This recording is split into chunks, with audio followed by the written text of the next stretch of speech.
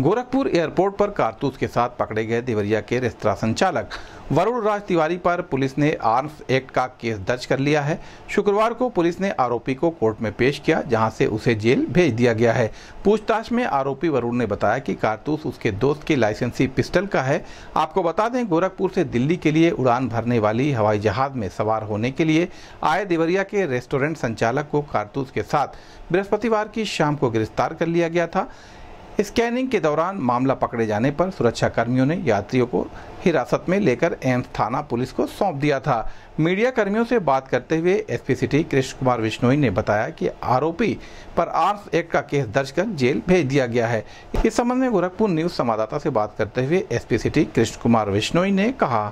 से तमाम फ्लाइटें दिल्ली एवं अन्य शहरों में जाती है। कल शाम को गोरखपुर की जो अंतिम फ़्लाइट है, यहाँ से दिल्ली के लिए स्पाइस जेट उसकी सिक्योरिटी चेकिंग हो रही थी। उसी चेकिंग के दौरान एक व्यक्ति के बैगेज से एक सात पॉइंट छः पाँच बोर का कारतूस है एम का कारतूस मिला। वो कारतूस का जाँच करने के बाद में पता चला, उससे पूछताछ की गई तो उस व्यक्ति ने बोला कि मैं सेवन से कारतूस को ले आया हूँ। लेकिन उसके पोजेसन में उसकी इलीगल पोजेसन में एक कारतूस था। और ये एयरपोर्ट के लिए एक सुरक्षा का भी विषय था। इसलिए सुसंगत धाराओं में अभियुक्त पंजीकृत किया गया है।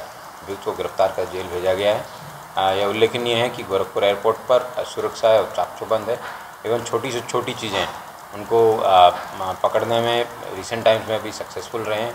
सुरक्षा के मद्देनज़र एक हाई अलर्ट भी इस मामले में है, वो इशू किया गया है और सभी लोग हर चीज़ को अच्छे से तहकीकात करके फ्री यात्रियों को है वो एंट्री पे थैंक यू